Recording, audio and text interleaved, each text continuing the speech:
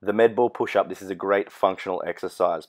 Two options for this exercise. You have one, which is the alternating arms every rep like I'm doing here. We want to focus on keeping the core tight, the back nice and straight, and taking our chest all the way down to the floor. Option number two is keeping that med ball underneath one arm and just doing reps on one side till you hit your desired total. Now once you've hit your desired rep count, then you're going to switch over to the other side and smash that side out as well.